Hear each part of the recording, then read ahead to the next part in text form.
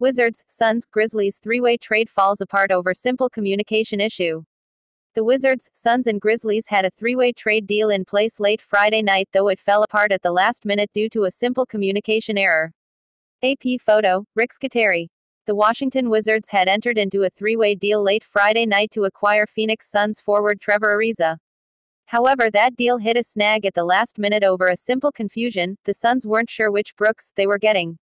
The Wizards had made a three-way deal in principle to acquire Ariza that would have sent Austin Rivers to Phoenix and Kelly Oubre to the Memphis Grizzlies.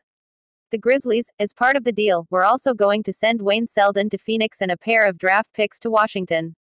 The confusion, though, hit a snag when Phoenix and the Grizzlies didn't communicate directly on the deal, per ESPN's Adrian Wojnarowski.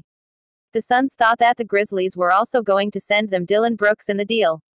However, the Grizzlies were under the impression that they were trading MarShon Brooks. Deals suddenly in peril. Memphis and Phoenix didn't communicate directly on trade, using Washington as a conduit in coordinating the three-team deal, sources tell at ZachLowe underscore NBA and me. Grizzlies believed they were trading MarShon, but somehow Suns believed it was Dillon. The Grizzlies, Wojnarowski reported, were unwilling to trade Dillon in the deal. And, according to the Daily Memphian, one Grizzlies source placed the blame for the confusion on the Wizards. We were only talking to Washington, the source told the Daily Memphian. Made very clear to Grunfeld that it was MarShon. Somehow it appears he told them Dillon.